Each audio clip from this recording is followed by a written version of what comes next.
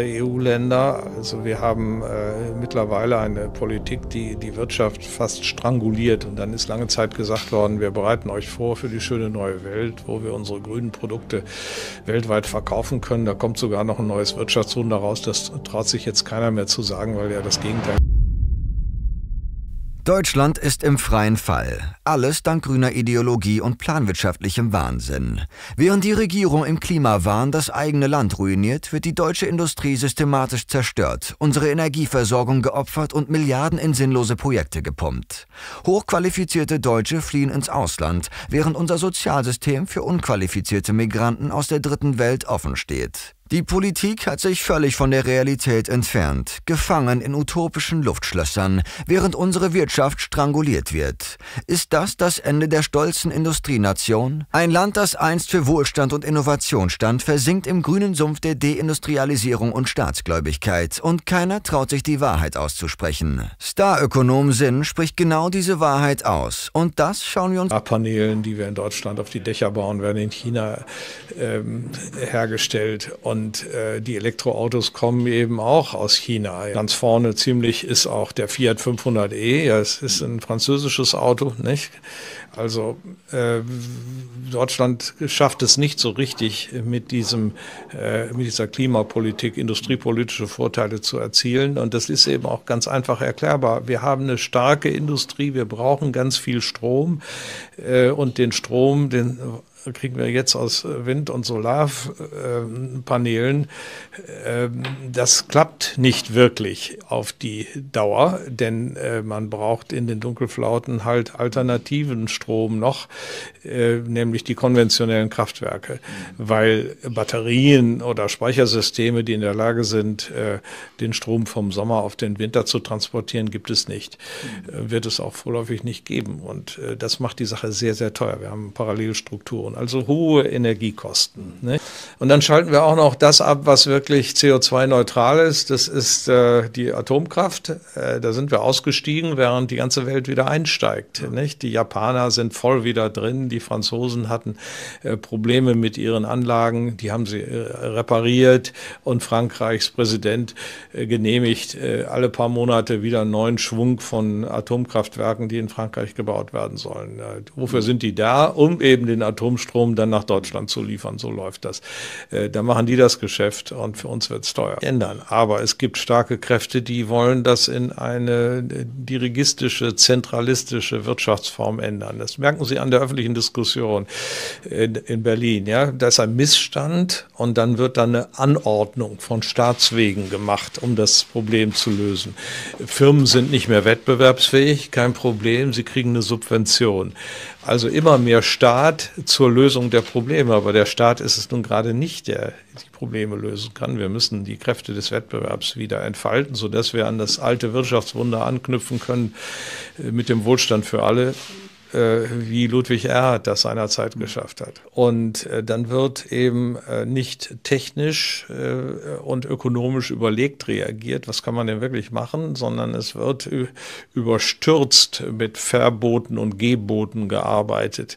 Und äh, so durchzieht ein neues Regulierungssystem dieses Land. Und wie Gulliver einst auf seinen Reisen, wird er von den Zwergen mit lauter kleinen Fäden gefesselt und kann kann sich kaum noch bewegen. Die Firmen ersticken in dem Bürokratieapparat, der über sie gestülpt. Klar, Frankreich bezieht äh, 70 Prozent seiner äh, seines Stroms aus der Kernenergie, Deutschland überhaupt keinen mehr. Äh, das ist ein äh, kardinaler Fehler, der gemacht wurde. Äh, vor über zehn Jahren, im Jahr 2011, als Frau Merkel da die Kehrtwende nach Fukushima einläutete, indem sie nicht etwa Ökonomen und Techniker und Physiker fragte, was zu machen ist, sondern eine Ethikkommission eingesetzt hat, um äh, hier die wirtschaftspolitischen Weichen für die Bundesrepublik Deutschland zu, zu stellen. Also das war wirklich ein fundamentaler äh, Politik. Jahrzehnte die wir investieren müssen, um Deutschland wieder fit zu machen. Nicht Nummer eins ist, wir müssen beim demografischen Problem ansetzen. Die Babyboomer sind 60 Jahre, wollen nicht mehr mitmachen in Kürze, weil sie alt sind. Wir brauchen Nachwuchs, Nachwuchs, Nachwuchs, Nachwuchs äh, von äh, qualifizierten jungen Menschen, die wir auch besser ausbilden. Wir sind in den PISA-Statistiken runtergefallen. Wir müssen in der Klimapolitik eine Wende machen. Wir müssen uns den neuen Techniken wieder öffnen, Kernenergie. Es gibt ja jetzt die äh, äh, Molten Salt Reactors, also Schmelz äh, äh, die mit äh, Uransalzen dann arbeiten, das immer flüssig ist. Da gibt es ein halbes Dutzend von neuen Startups, die mit dem Geld der Internetgiganten hier Milliarden und Abermilliarden finanziert werden. Das ist eine neue Revolution im Gange und wer ist nicht dabei? Wir Deutschen. Äh, dann haben wir Defizite bei der Digitalisierung.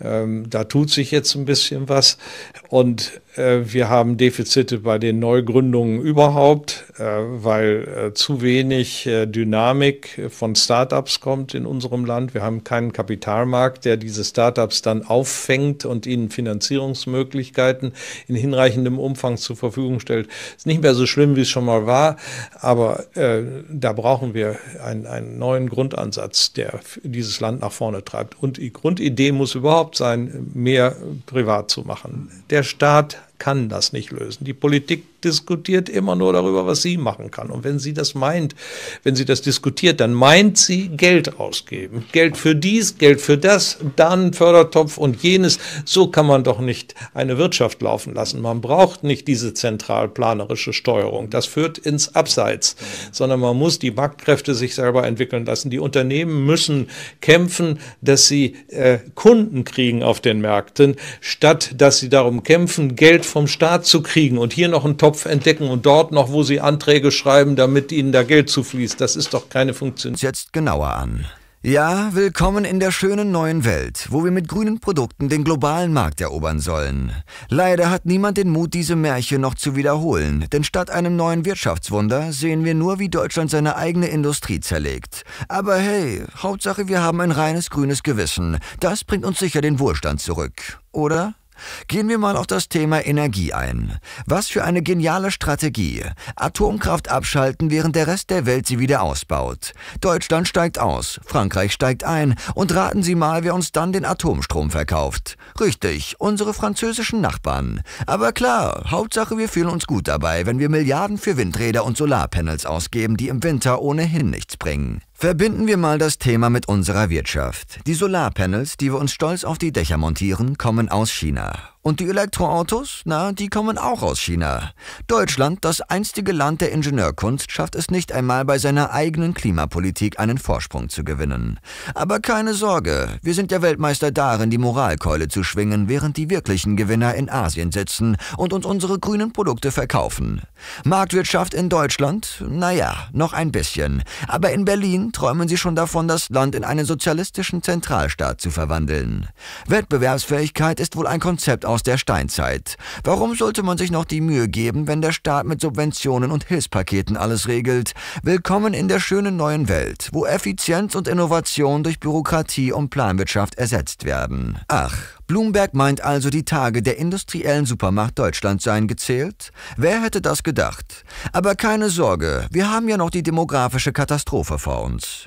Die Babyboomer verabschieden sich und Nachschub gibt es nicht. Zumindest keinen qualifizierten. Stattdessen holen wir uns unqualifizierte Migranten ins Land, die unsere Rentenkassen leeren und unsere Sozialsysteme belasten. Aber hey, wir sind doch alle so schön weltoffen.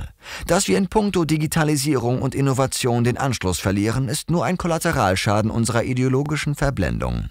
Deutschland, einst das Aushängeschild Europas, befindet sich auf dem direkten Weg in die Bedeutungslosigkeit.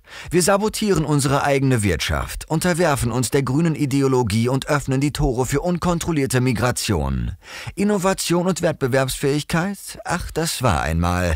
Heute zählen nur noch moralische Vogue-Werte und der blinde Glaube an den großen Staat.